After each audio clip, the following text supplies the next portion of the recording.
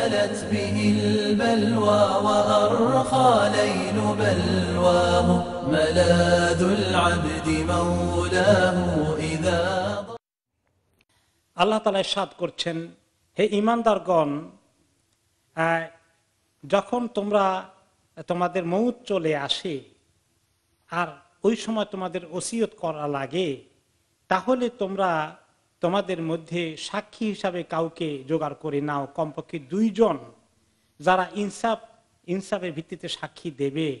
কোনো ওসিয়ত করতে হলে তুমি যদি তোমার আত্মীয় স্বজন সেখানে না থাকে, বিশেষ করে সফরের হালতে যদি কেউ এরকম ঘটে, কোনো কাফেলার সঙ্গে আছে। আর সফরের হালতেই তার ইন্তেকাল হয়ে যাচ্ছে, পরিবারের লোকজন সেখানে নেই। এই অবস্থায় তোমাদের যদি কিছু ওসিয়ত করার থাকে, তাহলে ওসিয়ত করে যাও। আর সেই ওসিয়তের সাক্ষী বানিয়ে যাও দুইজনকে সফরের সঙ্গীদের মধ্যে যাদেরকে তোমরা নির্ভরযোগ্য মনে করো, যারা ন্যায় নীতিভিত্তিক ওসিয়ত করবে, কোনো পরিবর্তন করবে না।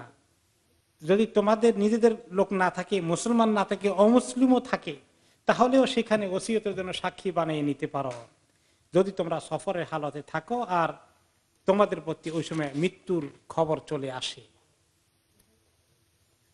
এরপরে যখন সাক্ষী দেওয়ার জন্য আসবে লোকেরা যে অমুকের মৃত্যু হয়ে গেছে এবং মৃত্যুর সময় তিনি কিছু ওসিয়ত করেছেন, টাকা পয়সা সঙ্গে যা ছিল বা কেউ দেনা পেনা বিশেষ করে আছে, এগুলোর ব্যাপারে কিছু ওসিয়ত করে যায়।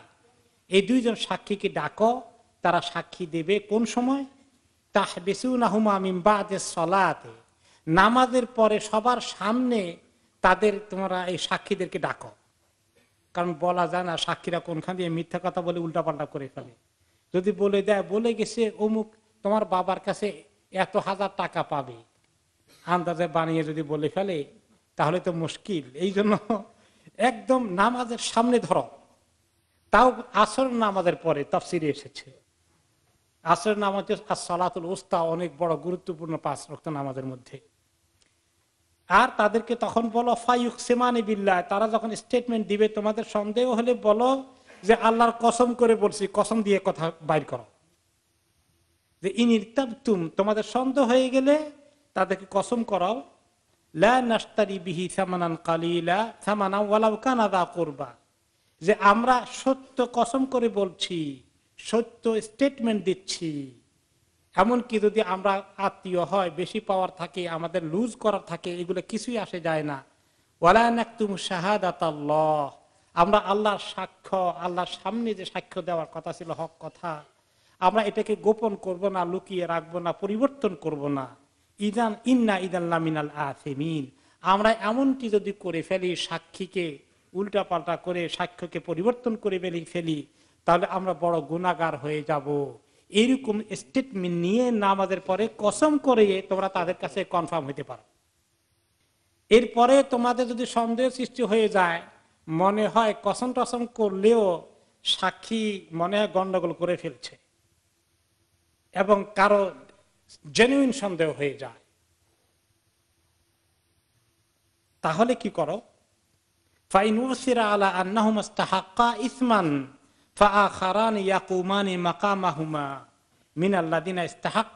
আউলায়ান তাহলে আরও দুইজন যদি বলে, না, আমাদের ধারণা এরা গড়মিল করে ফেলেছে, গন্ডগোল করে ফেলেছে। আমরা জানি তিনি কি ওসিয়ত করার কথা। যদি এইরকম কোন লোক সিরিয়াসলি মনে করে, তাহলে তারা দাঁড়াক। এদের জায়গা তারা বলবে যে, না, এই আগে যে দুইজন সাক্ষী দিয়েছেন তাদের সাক্ষীটা গলত সাক্ষী হয়েছে। তারা মিথ্যা সাক্ষী দিয়েছে। আমরা, আমাদের কাছে সত্য সাক্ষী আছে। এরা রং বলতেছে। এরা উল্টা পাল্টা করে ফেলেছে। তাহলে পরের দুইজনে এসে এখন তারা তাহলে কসম করুক। ফায়ুক সেমান আমরা আল্লাহর কসম করে বলছি, আমাদের সাক্ষ্যটা সঠিক সাক্ষ্য ওদেরটা গন্ডগোল হয়ে গেল। আমরা জানি তারা জেনে বুঝে কসম করেছে, কিন্তু মিথ্যা সাক্ষী দিয়েছে। অমা তাদাই না আমরা কিন্তু সীমা লঙ্ঘন করছি না। ইন্না ইদাল্লামিন আমরা যদি সীমা লঙ্ঘন করি, তাদের সাক্ষর পরিবর্তে আমরা তাদের সত্য সাক্ষ্যকে মিথ্যা বানিয়ে ফেললাম, আর আমাদের মিথ্যাটাকে সত্য বলছি, এরকম উল্টাপাল্টা যদি করি, তাহলে আমরা অনেক বড় জালিম হয়ে যাব। আল্লাহর কাছে এই ওয়াদা করে, এই প্রমিস করে আমরা সাক্ষ্য দিচ্ছি। তাহলে আল্লাহ যে শাস্তি আমাদেরকে দেওয়ার দেবেন। তাহলে এরকম ডবল কসম করাইয়া বাকি দ্বিতীয় জনের সাক্ষী নিয়ে তোমরা এবার ফয়সালা করতে পারো। মিথ্যা সাক্ষী এরকম কসম করে দিলে তাদের পরিণতি কি হবে? সাবধান। কিন্তু মিথ্যা সাক্ষী দিতে আমাদের জমানার লোকেরা বোধ ইতস্তত করে না। কীরকম মিথ্যা সাক্ষী দেয়? মিথ্যা সাক্ষী দিয়ে একজন যে ব্যক্তি মার্ডার করেছে তাকে বেকসুর খালাস করে দেয়। আর আরেকজন নিরাপদ লোকে মার্ডার বানিয়ে ফেলে, তাই না? হায় হায়, দিনকে রাত, রাতকে দিন নির্দোষ লোককে ফাঁসির কাছে ঝুলিয়ে দিচ্ছে, মিথ্যা সাক্ষী করে। কি জুলুম? আর আল্লাহ তালা বলেন, সাক্ষী যখন দাও, তুমি মনে রেখো, নবী করিম সাল্লা আলি সাল্লাম বসা ছিলেন কতগুলো জিনিস উম্মদকে নসিহত করতে। তারপরে তিনি আল্লাহ শাহাদাতে জুর, খবরদার, মিথ্যা সাক্ষী দেওয়া, খবরদার, মিথ্যা সাক্ষী দেওয়া থেকে বিরত থাকো। তিনি হেলান দেওয়া ছিলেন, বসে গেলেন, তিনবার করে রিপিট করে কয়েকবার রিপিট করতে থাকলেন, মিথ্যা সাক্ষী থেকে উম্মদকে সতর্ক করলেন। থামেন না থামেন না, সাহাবিরা বলেন, আহারে, উনি তো বলতে বলতে টায়ার্ড হয়ে গেলেন, এখন যদি উনি থেমে যেতেন। আর সেই উম্মতের দাবিদার আজকে মিথ্যা সাক্ষী দিতে, কোনো মুখের মধ্যে বাধা বিপত্তি আসে না। এত দুঃসাহস। এত দুঃসাহস। নিজের আখেরাতকে শেষ করে দিচ্ছে। আজকে একটা অন্যায় ফয়সালা কোর থেকে বের করে আনবে মিথ্যা সাক্ষীর মাধ্যমে। কতদিন দুনিয়াতে থাকবে? কতদিন থাকবে? আল্লাহর কাছে যেতে হবে না? আহ, একটু চিন্তা যদি করতো। তো আল্লাহ তালা এত ডবল ডবল মিথ্যা সাক্ষীগুলোকে থেকে বাঁচার জন্য, কসম করানোর জন্য এই নসিহাত করে এখন বলছেন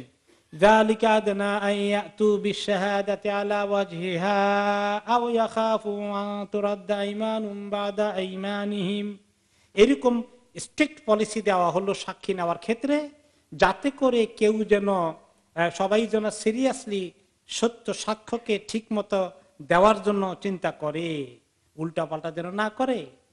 তারা যেন কসমের কথা এই জন্য বলা হয়েছে তাদের কসমকে যেন পরবর্তী লোকের কসম তারা উল্টানো না হয়, এই জন্য প্রথম সাক্ষী দেওয়ার ক্ষেত্রেও সতর্ক থেকেও মিথ্যা সাক্ষী দেওয়ার সুযোগ গ্রহণ করো না।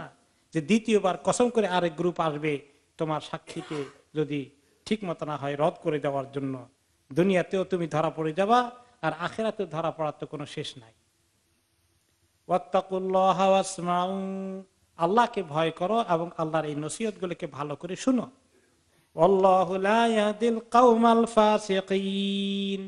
এত সত্ত্বেও যদি মিথ্যা সাক্ষী দিতে, মিথ্যা কসম করতে কোনো বাদ সাধে না, তাহলে এরকম ফাঁসে কৌমকে কি আল্লাহ হৃদায়ত করবেন?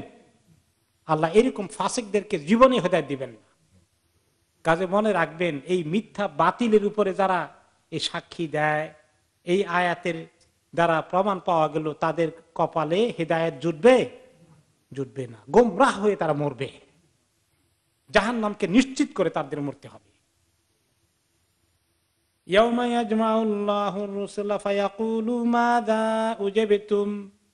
আল্লাহ তালা হাসরের দিনের কথা মনে করিয়ে দিচ্ছেন। সেই দিন আল্লাহ সবাইকে জমায়েত করবেন, সমস্ত নবীদেরকে নিয়ে আসবেন। সমস্ত নবীদেরকে আর তার উম্মতদেরকে একসঙ্গে নিয়ে আসবেন। এক এক নবীর সামনে, উম্মতের সামনে তার নবী বসা আছেন। নবীর পিছনে উম্মতরা আছেন। নবীদেরকে উম্মতের সামনাসামনি করে আল্লাহ তালা জিজ্ঞেস করবেন হেই নবীরা, আপনারা যখন দাওয়াত দিয়েছেন, আপনাদের জাতি কি সাড়া দিয়েছিল? আপনাদের জাতি কি ডাক দিয়েছে? আপনাদের ডাকে সাড়া দিয়েছে? কোন কোন নবীর ডাকে সাড়া দিয়েছে কম, কোন কোন নবীর ডাকে সাড়া দেয়নি? একটি হাদিসই এসেছে, কোন কোন নবী আসবেন তার পিছনে বিশাল উম্মতের বাহিনী। কোন কোন নবীর উম্মত তার চেয়ে কম কয়েক হাজার। কোন কোন নবীর উম্মতের ফলোয়ার হবে মাত্র কয়েক শত।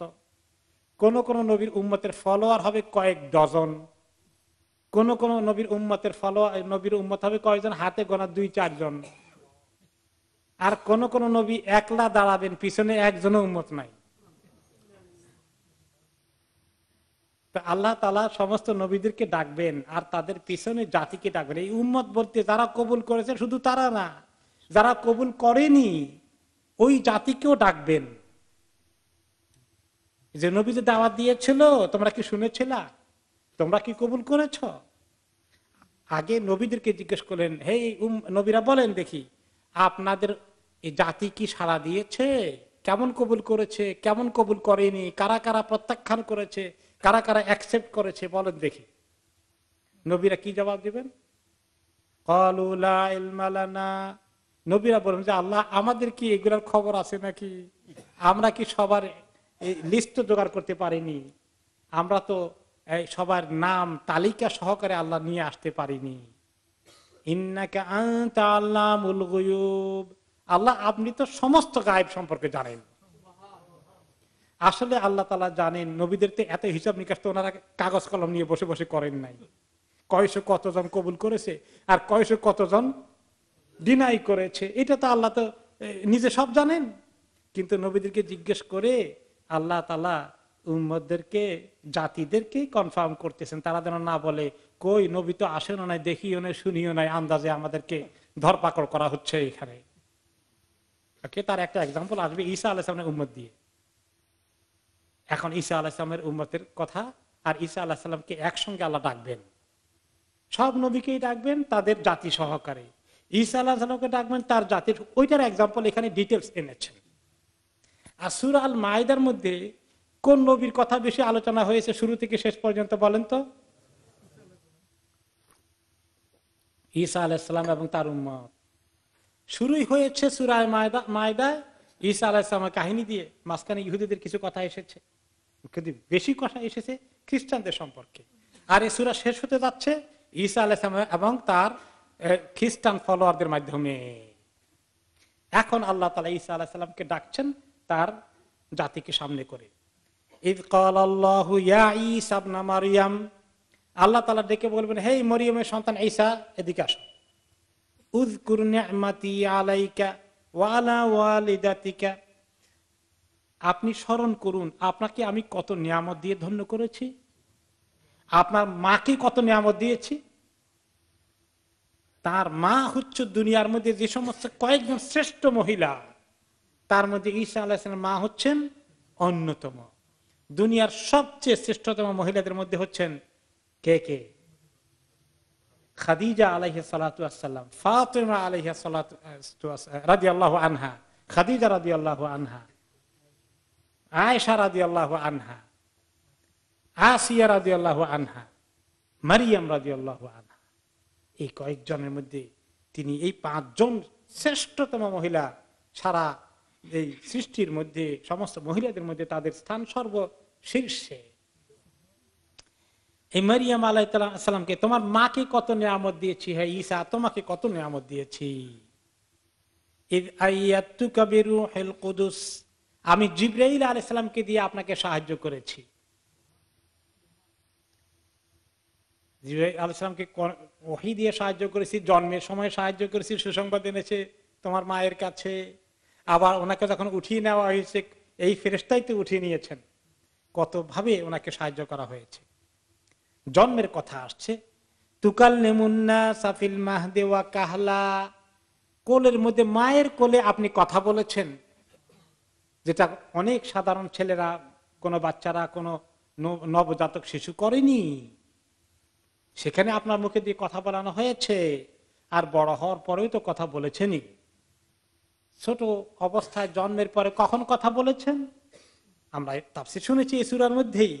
জন্মের পরে মা যখন মারিয়াম আলাহিসাম শিশু জন্ম নিয়ে আসলেন, কওমের কাছে তারা কি বলল, ইয়া মারিয়াম, তুমি এত বড় অন্যায় করলা? তখন মরিয়ামকে আল্লাহ বলে দিছেন, আগেই তোমাকে জিজ্ঞেস করলে তুমি বলল, আমি কথা বলব না। এই বাচ্চার সঙ্গে কথা বলেন। তারা বলে কেবল জন্ম হওয়া বাচ্চা কথা বলবে? তখন আল্লাহ তালা জবান খুলে দিলেন, কার? ঈসা আলাইসালামের তিনি বলেন, ইন্নি আবদুল্লাহ। শোনো, আমি আল্লাহর বান্দা। আমার মা মহাপবিত্র মহিলা, খবরদার। তার শানে কোনো বেয়াদবি করে কথা বলো না। ملاذ العبد مولاه إذا ضامته دنياه إذا نزلت به